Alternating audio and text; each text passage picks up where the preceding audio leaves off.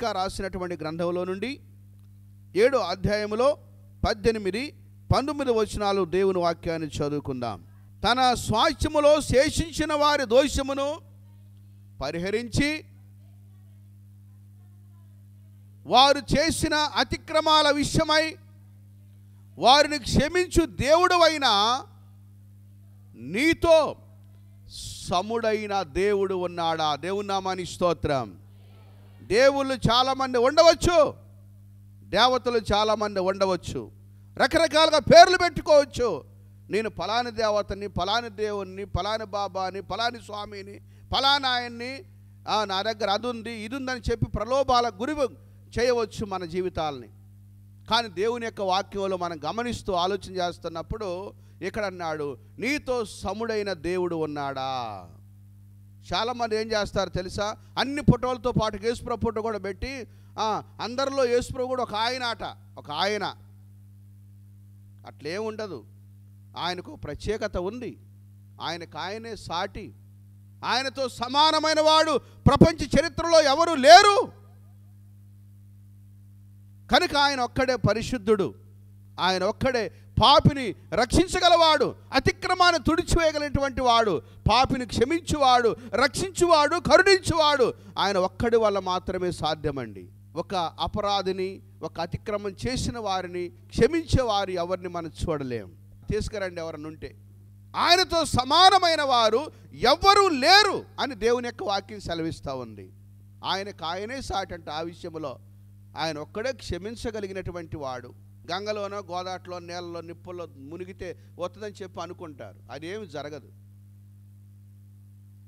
యేసు ప్రభు మన పాప క్షమాపణ కొరకు మన ఆత్మ రక్షణ కొరకు బలియాగముగా అర్పించబడి కలువరి శిలువలో మృతి పొంది ఆయన రక్తమంతా మన కొరకు కార్చివేశాడు. ఆయన పుణ్య రక్తములో ప్రతి మనిషి యొక్క అతిక్రమాలు పాపాలు దోషములు క్షమించబడుతున్నాయి. కనుక దేవుని వాక్యం సెలవిస్తూ ఉంది. ఆయనతో సముడైన దేవుడు ఎవడైనా ఉన్నాడా? ఇంకో మాట కూడా కింది భాగం కూడా పంతొమ్మిదవ వచ్చినాన్ని మనం చదివితే అంటాడు. ఆయన కనికరము చూపట ఎందు సంతోషించేవాడు. దేవుని నామాని స్తోత్రం. ఏం చూపుడెందు సంతోషించేవాడంట? దేవుడు కఠినంగా ఉంటే మానవునికి పాపక్షమాపణ లేదు. దేవుడు కఠినంగా ఉంటే రోగి స్వస్థపరచబడలేడు. కఠినంగా ఉంటే అతిక్రమాలు తుడిచివేయబడవు. దేవుడు కఠినంగా ఉంటే మన దోషాలు పరిహారం కావు. దేవుడు కఠినంగా ఉంటే మన ఆత్మ రక్షించబడదు. పాపం చేసినోని చేసినట్టు కనుక ఎక్కడున్న అక్కడ చంపేస్తే ఎంతమంది చచ్చిన వాళ్ళు తెలుసా? రోజు వేల వేల మందిని ఈ రోజున కళ్ళారు చూసే వాళ్ళం. చచ్చిన శవాలు మొత్తం మన కళ్ళ ముందు కనపడాయి. దేవుడు కనికరము చూపటి ఎందు ఆయన చాలా శ్రద్ధను వహిస్తున్నాడు. నా బిడ్డలు పాపం చేశారా? దోషం చేశారా? అతిక్రమం చేశారా? నా ఎదుటికొచ్చి ప్రభువా నేను దోషిని నేను పాపిని నేను అతిక్రమించా నీ ఆజ్ఞ మీరా నన్ను క్షమించయ్యా అని ఎవరైనా పశ్చాత్తాపడితే వారి పశ్చాత్తాప హృదయాన్ని చూసి వారిని క్షమిస్తానని చెప్పి దేవుడు ఇక్కడ ఒక మంచి మాట మా జ్ఞాపకం చేస్తూ ఉన్నాడు. కనికరము చూపటి అందు సంతోషించేవాడంట. దేవుని నామాని స్తోత్రం. ఎవరున్నారు కనికరం చూపటి అందు సంతోషపడేవాళ్ళు? మన కళ్ళ ముందు ఒక దోషి కనపడ్డాడు. ఒక పాపం చేసిన మనిషి కనపడతాడు. వా- అతిక్రమం చేసి మనది నిలబడ్డాడు. ఎవరైనా క్షమిస్తారా? అరే వాని కొట్టుండ్రా. వాని గట్టేయండిరా. వాని స్టేషన్కి అప్పచెప్పండిరా వాడిని జైలుకి పంపండిరా. లేకపోతే వాళ్ళు చ- చంపేసేయండిరా. చితక బాధుడు బాధుడు ఒక దోషం చేసిన మనిషి అతిక్రమం చేసిన వాడు పాపం చేసిన మనిషి ఎవరైనా మనుషుల కళ్ళ ముందు కనపడితే మనుషులు చేసేది ఏంటి మనుషులు ఎవరైనా కనికరపడతారా? ఎవ్వరు కనికరించరు. మనుషులే కనికరిస్తే మనుషులే దయ చూపితే మనుషులే ప్రేమను చూపెడితే ఈ లోకం ఎప్పుడో మారిపోయేదండి. ఈ లోకమే పరలోకంలాగా అయిపోయేది. కొంతమంది ఏమనుకుంటారు తెలుసా? చూద్దాం ఎప్పుడు దొరకపోతడా? అని మన నడకల గురించి మన మాటల గురించి ఏంటి? మన ప్రవర్తన గురించి చూద్దాం చూద్దాం అని కాపు కాసే వాళ్ళు చాలామంది ఉన్నారు. దేవుడు అలా అనుకునేవాడు కాదు. ఆయన కనికరము చూపుటి అందు సంతోషించేవాడు. ఏ కుమారుడు ఏ కుమార్తె ఏ బిడ్డ నా దగ్గరకు వచ్చి పశ్చాత్తాపడుద్దో ఎప్పుడు మారు మనసు పొందుతారో ఎప్పుడు నన్ను క్షమించు ప్రభు అంటారో అని చెప్పి వారి పశ్చాత్తాపం కొరకు దేవుడు ఎదురు చూస్తూ ఉన్నాడు యొక్క దినమున. ఎవరైనా ప్రభువా నేను పలానా విషయంలో పలానా దోషం చేశానయ్యా అని చెప్పి ఎవరైతే ఒప్పుకుంటారో వారి గురించి కనికరం చూపుటకు ఆయన సంతోషించేవాడు. గనుక నిరంతరము మన మీద కోపం ఉంచేవాడు కాదంట. దేవుని నామాని స్తోత్రం. అదే పంతొమ్మిది వచ్చిన కూడా మనం చదివితే అంటాడు ఇక్కడ ఆయన మరలా మన ఎందు జాలి పడతాడు. ఎన్నిసార్లు? ఎన్నిసార్లు? దేవుడు నీ మీద ఎన్నిసార్లు జాలి పడ్డాడు? ఎన్నిసార్లు తన దయ చూపించాడు దేవుడు? ఎన్నిసార్లు తన ప్రేమను చూపించాడు? ఎన్నిసార్లు దేవుడు తన కృపను ఎడ ఎడల చూపుతా ఉన్నాడు? ఎంత కాలము నుండి నిన్ను చూస్తా ఊరుకునే దేవుడు ఇంకా జాలి పడతా ఉన్నాడు. మరలా మరలా మరలా ఆయన జాలి పడేవాడండి. దేవుని నామాని స్తోత్రం. ఎవరు నీ మీద జాలి పడేవారు ఉండకపోవచ్చు. కొన్ని సందర్భాల్లో మనకి ఆకలి దప్పికై ఇబ్బంది పడతా ఉంటే అట్టనే ఉండాలి అనేవారు కూడా లేకపోలేదు. దేవుని నామాని స్తోత్రం. ఎట్టుండాలి? అట్లనే ఎగరాలాట. వాళ్ళకి అన్నం ఉండకూడదు కొన్నిసార్లు పండగకి బట్టలు లేకపోతే వాళ్ళకి అట్లనే ఉండాలి అని అనుకునే వాళ్ళు లేరా? ఉన్నారు. నిజంగానే. ఇల్లు వాకిల్ లేక అన్న వస్త్రాలు లేక ఇబ్బంది పడుతూ కష్టకాలం ఉన్నప్పుడు వాళ్ళకి అట్లనే ఉండాలని చెప్పి జాలి లేకుండా కనికరం లేకుండా దయ లేకుండా మాట్లాడేవారు చాలామంది ఉండి ఉండవచ్చు ఒకవేళ. కానీ ప్రభు అలా అనుకునేవాడు కాదు. మనకేదో లోటు జరిగినప్పుడు ఇబ్బంది వచ్చినప్పుడు కష్టం వచ్చినప్పుడు కనీసం తినడానికి తిండి లేక కట్టుకునే వస్త్రం లేక ఆర్థిక ఇబ్బందులతో బాధపడుతూ ఇబ్బంది పడుతూ కష్టపడుతున్నప్పుడు దేవుడు మన పైన మరలా మరలా మరలా మన పైన జాలి పడతా ఉంటాడు. దేవుడు నామాని స్తోత్రం. మనిషి యొక్క స్వభావానికి దేవుని స్వభావానికి చాలా తేడా ఉంది.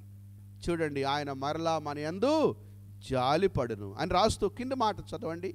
దయచేసి మంచి మాట ఉంది అక్కడ. మన దోషములన్నీ కూడా ఆయన అణిచివేస్తాడు. అంటే పైకి రానివ్వడు. అణిచివేస్తాడు. దేవుడు నామాని స్తోత్రం. మన దోషములన్నీ అణిచివేయును. మన పాపములన్నిటినీ సముద్రపు అగాధములో నువ్వు పడవేస్తావు. బిగ్గరగా చప్పలు కూడా దేవుని నామాని స్థుతులు చెల్లిద్దామండి. పాపములన్నీ కూడా సముద్ర అగాధములో నీవు పడేస్తావు. దోషములన్నీ అణిచివేస్తావు. మనమైతే మనుషుల్ని అణిచేస్తాం కానీ దోషాన్ని అణిచేయం ఒక వ్యక్తి మన జీవితంలో ఎవరైనా పాపంతోనో దోషముతోనో అతిక్రమంతోనో దేవునికి వ్యతిరేకంగా తిరుగుబాటు చేసినప్పుడు వారు చేసిన దోషమును అణిచివేయాలి. దోషిగా ఉన్న ఆ మనిషిని మరలా తిరిగి మనలోకి చేర్చుకోవడానికి ఇష్టపడాలి మనం. దేవుని నామాని స్తోత్రం. అది దేవుని ప్రేమ. అది దేవుని ప్రేమ. మనం ఏం చేస్తామంటే దోషం చేసిన మనిషిని అణిచివేస్తాం. ఏ నువ్వారా వాక్యం చెప్పేది? నువ్వారా పాడబాడేది? నువ్వారా ప్రార్థన చేసిన ఉండదాకా ఏం చేసినవారు నువ్వు? అణిచివేసే ప్రయత్నాలు. దేవుని వాక్యం ఏమంటుంది? మనిషిని అణిచివేయడం కాదయ్యా. ఆ దోషాన్ని అణి అనగొట్టు అణిచివేయి. దాన్ని కాల కిందేసి తొక్కు. నైనా ఇంకోసారి నన్ను దోషం చేయబాకు బాబు. ఇంకోసారి నన్ను అతిక్రమం వద్దయ్యా. ఇలాంటి పాపం నీ లోపల జరగడానికి వీలు లేదు. దేవుని నామాని స్తోత్రం. క్షమించి మన్నించి మన సంఘంలోకి బిడ్డలను చేర్చుకొని జాలిని నీ ప్రేమను కనపరచు. మరి కొంతమంది జీవితాలు మార్చబడతాయి. దేవుని నామాని స్తోత్రం. మనం కఠినంగా ప్రవర్తిస్తే జీవితాలు మార్చబడవు కానీ వారు ఇంకా కఠినంగా తయారై దేశద్రోహుల్లాగా మారిపోతారు. కుటుంబానికి ద్రోహుల్లాగా మారిపోతారు తల్లిదండ్రికి విరోధులుగా తయారవుతారు. వారి యొక్క జీవితాల్లో చాలా కఠినంగా తయారవుతారు. మనం ప్రేమను చూపించగలిగితేనే ఒక వ్యక్తిని మన లోపల చేర్చుకోగలుగుతాం కానీ ఆ ప్రేమ లేనప్పుడు కఠినంగా ఉన్నప్పుడు ఒక వ్యక్తి జీవితం మార్చబడదు కానీ మరీ భయంకరంగా వాళ్ళు తయారవుతారు. కనుక దేవుడు దోషమును అణిచివేసేవాడు. పాపాన్ని ఎక్కడ? సముద్రపు ఆగాధములో నువ్వు ముంచివేయదు దేవుని నామాని స్తోత్రం. అందుకే మీ దోషాలని సముద్ర పగాధంలో ముంచేయబడాలంటే మీరు గోదావరి నదిలో బాప్తీసం పొందినప్పుడు మీ పాపాలు కొట్టుకుని పోయి ఆ బంగాళాఖాతం అనే సముద్రంలో కలిసిపోతున్నాయి. దేవుని నామాని స్తోత్రం. అగాధంలోకి వెళ్ళినటువంటి ఏది కూడా కనపడదు ఇక. సముద్రపు అగాధం అంటే అక్కడో లోపల భాగంలోకి వెళ్ళిపోయిందంట ఆ పాపం. ఇక మళ్ళీ తేలి రావడానికి వీలు లేదండి. దేవుని నామాని స్తోత్రం. కొంతమంది పాపాలు తేలొత్తా ఉంటాయి తేలకూడదు. పాపం మునిగిపోవాలి. మనం తేలి బయటికి రావాలి. దేవుని నామాని స్తోత్రం చెప్పండి. సముద్రపు అగాధములో మన పాపాలు ముంచివేయబడునుగాక అక్కడికి వెళ్ళిన పాపం మళ్ళీ తిరిగి రాదు. ఆలోచన చేత నన్ను నడిపిస్తావయా నీ ఆత్మ చేత నన్ను వాడుకుంటావయ్యా